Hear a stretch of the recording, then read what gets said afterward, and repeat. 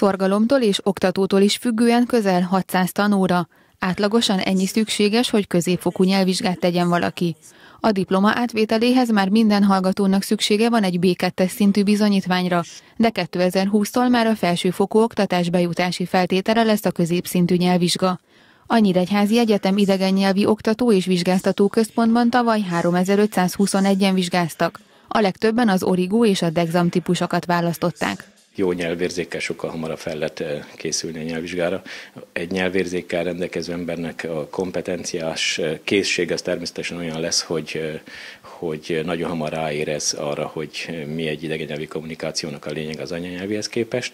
Arról nem beszélve, hogyha mondjuk egy új latin nyelvet ismer, és egy következő új latin nyelvet akar megtanulni, egy francia után egy olasz, vagy olasz után a franciát, az természetesen nagyot segít ilyenkor.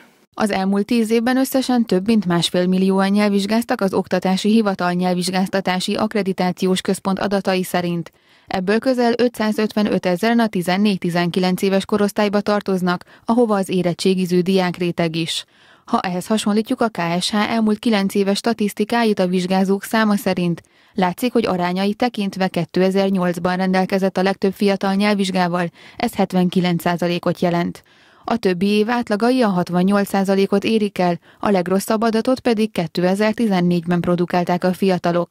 Abban az évben a 77 ezer érettségiző diák mindössze 59%-ának volt idegen nyelvi bizonyítványa. Az angol és a német az kb. 98%-át teszi ki az összes vizsgának, de az ő, tehát a két nyelv közötti eloszlás az úgy néz ki, hogy kétszer annyi az angol, mint a német. Tehát, hogyha azt mondjuk, hogy 98 százalék, akkor ebből körülbelül 60 százalék vagy 65 százalék az angol vizsgázók száma, és 31 néhány százalék a német vizsgázók száma és az a maradék néhány százalék osztozik azon az összes többi nyelven, nyelven amiből államileg elismert nyelvvizsgát lehet tenni.